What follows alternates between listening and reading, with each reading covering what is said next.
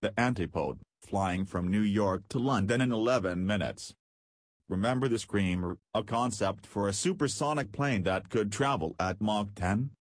Scratch that, there's now a design for a plane that could cruise from London to New York in 11 minutes, traveling at Mach 24, that's 12 times faster than the Concorde.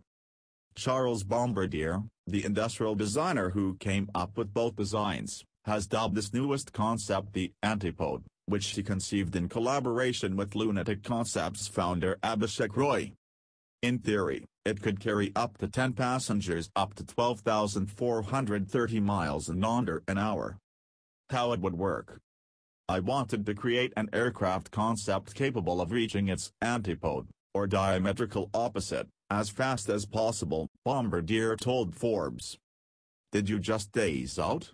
Bear with us a little while longer while we explain the tech that would get his craft flying. The Antipode's wings would be fitted with rocket boosters that would propel the aircraft to 40,000 feet, and enable it to reach Mach 5. Like the Scream, the plane would be powered by a scramjet engine. Unlike conventional jet engines, scramjet engines have virtually no moving parts.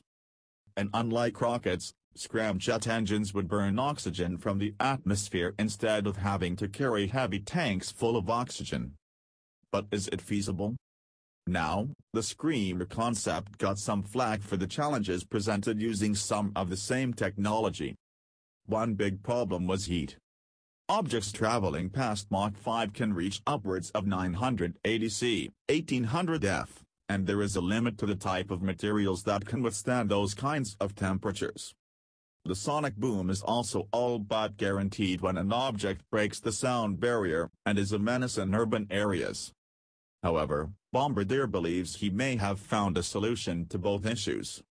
After the Skreemr concept made the rounds, Bombardier was contacted by Joseph Hazeltine, an engineer at Wyle, which provides technical support to both NASA and the U.S. Department of Defense.